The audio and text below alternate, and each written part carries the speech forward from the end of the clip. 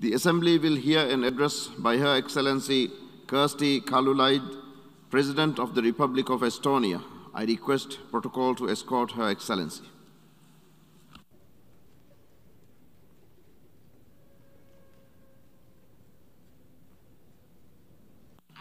On behalf of the General Assembly, I have the honor to welcome to the United Nations Her Excellency Kersti Kaljulaid, President of the Republic of Estonia, and to invite her to address the Assembly.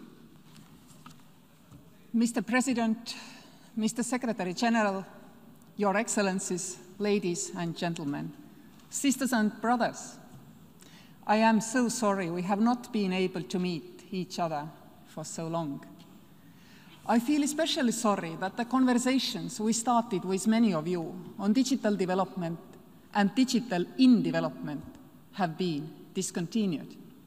Yes, brainstormings, hackathons, similar events have continued online, delivering in particular fresh ideas at lightning speed on how to best overcome or circumvent the circumstances we were all suddenly thrown in. I am proud how we have rushed online globally to reach out to each other, to provide education support, to develop e-court services, to deliver as much as we could, contactless. My special greetings go to the Chief Prosecutor of Kenya, who has made sure that Kenyan people can turn to the courts and receive verdicts while unable to travel, unable to meet. Kenya is not turning back, because even when travel would be safe again, why should someone take a trip of hundreds of kilometers to be heard? This is an encouraging example. Through the tears we have shared for our lost ones, from the despair and devastation, solutions have sprung, which will enable us to become better, more egalitarian societies. I hope all governments who have seen the benefits of online service provision will continue down this avenue. This helps people from rural areas, women with small children, unable to go and queue at government offices. It helps people with special needs access better what societies can offer them. There is another positive takeaway from the pandemic. If we truly globally concentrate our financial and scientific efforts on a problem, we can overcome. But only if we really feel the urgency. I feel encouraged for the fight against climate change. It is at least as dangerous to human race as a pandemic is. This urgency is now widely accepted. We can overcome someday. The day will come when we will be able to look back as humankind and find we have made the concentration of CO2 in the atmosphere to descend. It will not be the day when we see planet Earth calming down.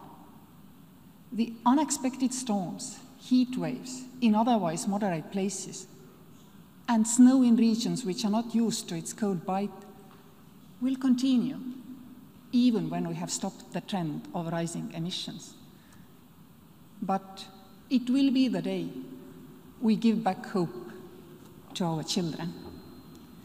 Because from that point onwards, they can hope that the planet will slowly get better again. If we can take these more supportive governments towards the weaker in the societies, and potential to use the same fervency we all together had to find vaccines now to stop climate change. The future generation will recognize this decade of this century as the great recovery. If we fail, it will be marked as the beginning of an end. I hope it is the first, but even if it is, there are many urgent problems we need to concentrate our minds on also, while we keep the big picture always in our minds. Last Saturday, People in more than 160 countries across the globe united to clean up the world. In last three years, more than 50 million people across the world have joined the initiative. World Cleanup Day, launched by Estonians in 2008, is by today one of the biggest civic movements of our time, uniting about 160 countries across the world for a cleaner planet. The simple act of cleaning has become a force that binds together people and groups that would otherwise never dream of working towards the same goal. This is a great example of the grassroots power of people, united by technology and the will to do something by themselves to save our planet.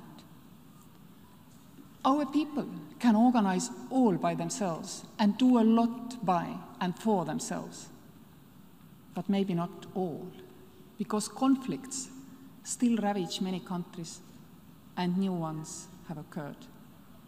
Wars continue to be fought from Ukraine to Syria.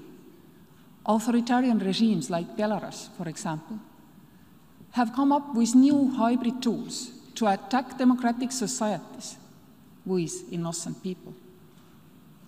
Those who suffer the most continue to be the most vulnerable in our societies women, children, and adolescents. When I visited Afghanistan this April, I had the opportunity to meet people who had grown up in a society of reconstruction and hope towards the future.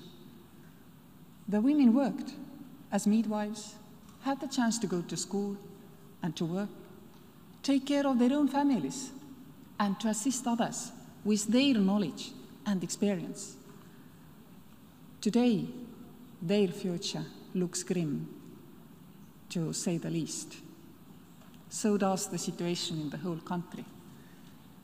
The humanitarian needs there are enormous. About half of Afghanistan's population, more than 18 million, is in the urgent need of humanitarian assistance, including women and children. As the UN Global Advocate for every woman, every child, it makes me sad that the progress seen during the past two decades in Afghanistan could be reverted so quickly. While despairing for Afghan women's rights to participate in the society in any normal way, we must not forget that the opportunities for women and children globally have been hit hard by the pandemic. Even the most developed countries are not exempt.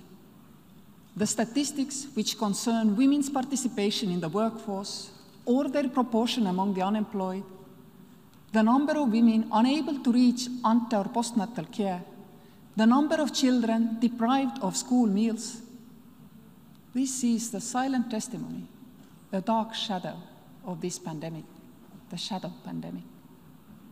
And things were not good even before the COVID hit. For example, we were not on track to reach our SDG goal of zero hunger by 2030. The data gathered by H6 institutions with whom I cooperate as the UN Global Advocate predicts we will have to rethink many of our development strategies in order to gain ground lost in pandemics, and then some. The shadow pandemic of starvation, lack of access to education or medical care is going to continue at least until we manage to vaccinate the global population. And then it will take more time still to turn the negative trends around again. Estonia is contributing at least 900,000 doses of vaccination. Almost each grown up in Estonia who takes a shot donates one to someone else globally. Without vaccinating the global population, there is no way to even start the recovery from the shadow pandemic. We all are responsible for the future, and we all have to do our bit. On September 17th, Estonia, together with our Baltic friends Latvia and Lithuania, celebrated the 30 years anniversary of us joining the United Nations. 30 years is a little bit more than one human generation. Today, Estonia is an elected member of the United Nations Security Council. Over the years, we have been not only security consumers, but also responsible contributors in different regions in the world, from Sahel to Afghanistan to Iraq.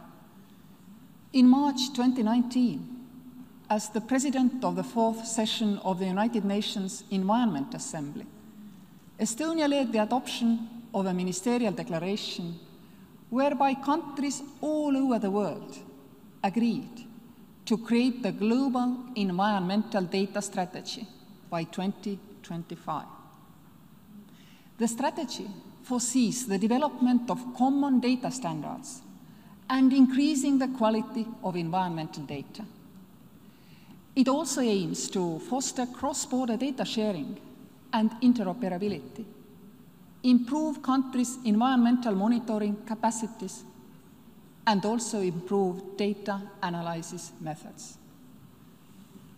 To support this process, Estonia is launching a global alliance, Data for the Environment Alliance, DEAL for short, that would bring together countries interested in improving the quality and accessibility of environmental data and developing digital solutions.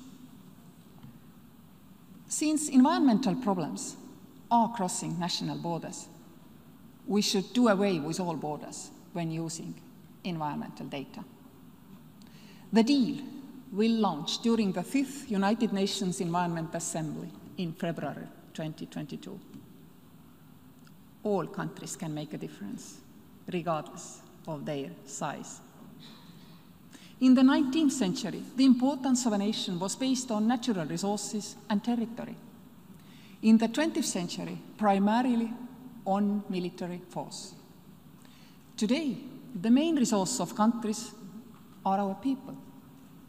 People, not as merely as tools of production, but as individuals with their rights and freedoms, as well as their unbounded imagination, ingenuity, and their entrepreneurship. Only truly free people are creative enough to thrive in 21st century.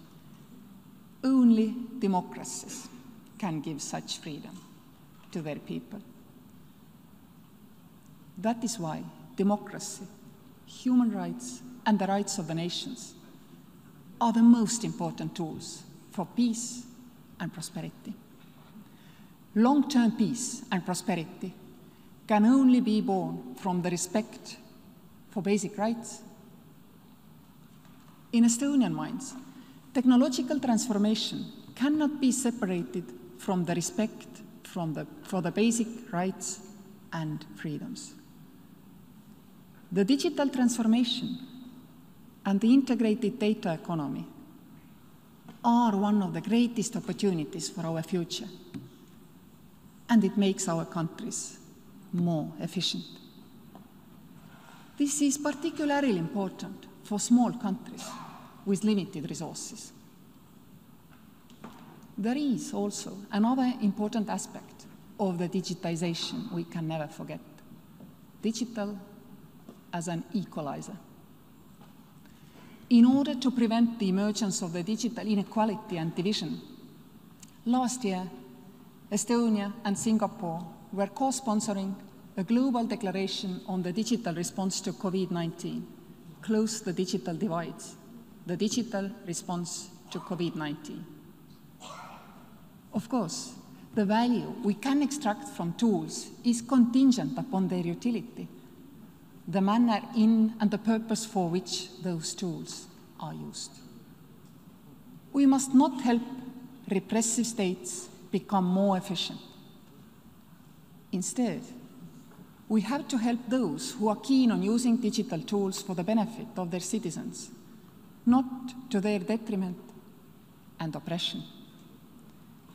It is important for Estonia that the basis of our cooperation are shared values, principles, interests, all of which fundamentally hinge on trust, particularly trust created through digital means.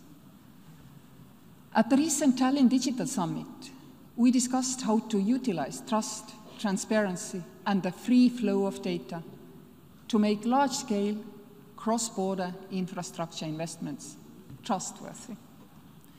Collective concern of governments and international organizations demonstrated the need for a shared framework to underpin our cooperation, a trusted connectivity.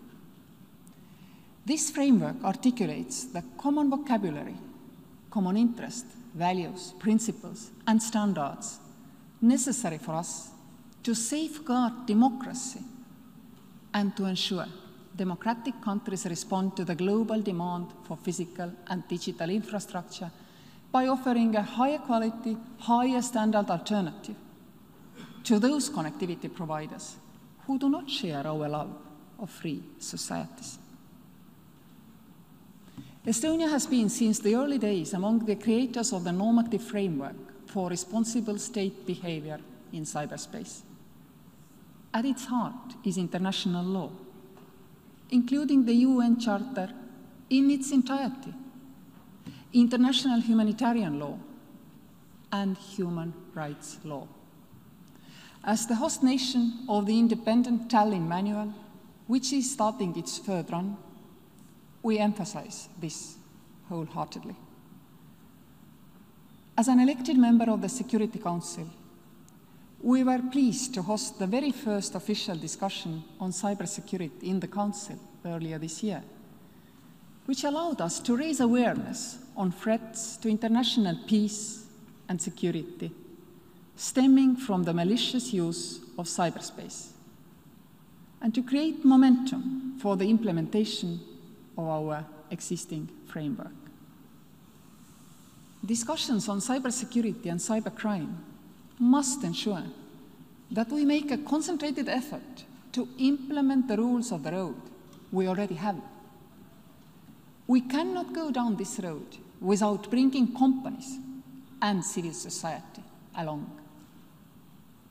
Legal frameworks have utmost importance, but laws alone do not protect us we also need empathy, democracy, rule of law, good governance, and the flexibility to adopt changes caused inter alia by COVID 19. Countries are exporting what they actually are and what happens inside their own country. Countries that repress their people spread fear also to other countries and societies. And that is why we have to talk about the repressions in Belarus, stand in solidarity against the aggressive and destabilizing behavior of Alexander Lukashenko's regime, and remain convinced that the will of the Belarus people should be the main guideline for shaping the future of the Republic of Belarus. That is why we can't forget occupied Crimean Peninsula or the situation in eastern Ukraine.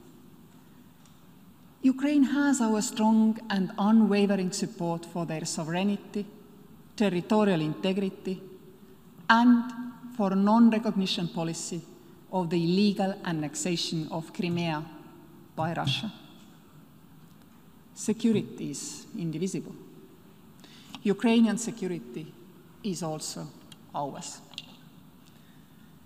As an elected member in the United Nations Security Council, we continue to keep the issue of Russia's aggression in Donbass and the illegal annexation of Crimea on the Security Council's agenda. That is why we have also to talk about migration flows affected by instability and unrest in different continents. That is why Estonia supports the idea of Summit for Democracy, hosted by President Biden. That is why Estonia, from her side, is hosting the next global conference for media freedom in order to boost the synergies of internet and media freedom in the situation where journalists and media workers are more and more dependent on internet freedom and modern technologies.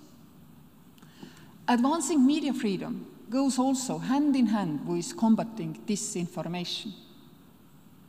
And that is why we continue to support the rights of women and girls around the world.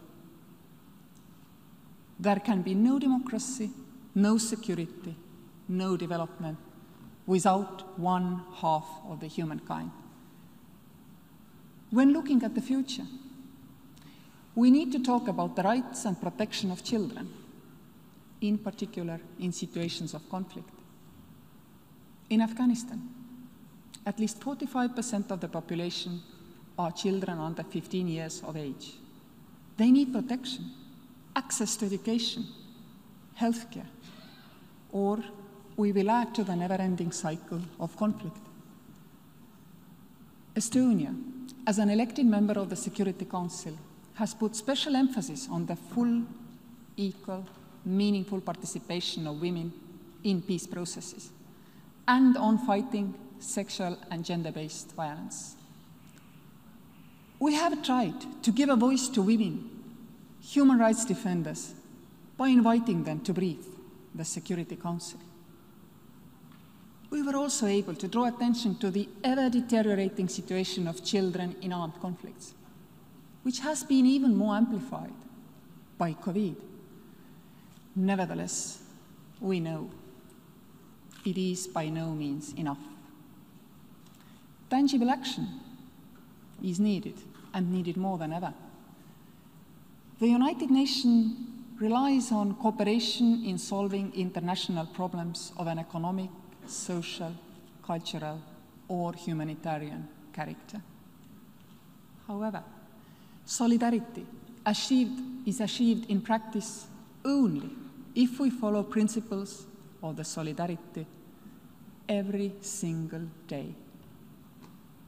There is a great potential of solidarity in the United Nations, regardless of the problems we are collectively facing.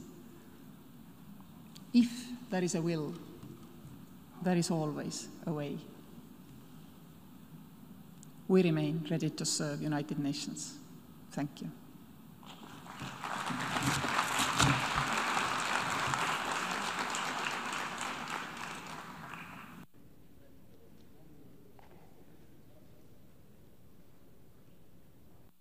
Nom de l'Assemblée générale, je tiens à remercier On behalf of the General Assembly, I wish to thank the President of Estonia for the statement that she has just made, and I ask protocol to escort Her Excellency.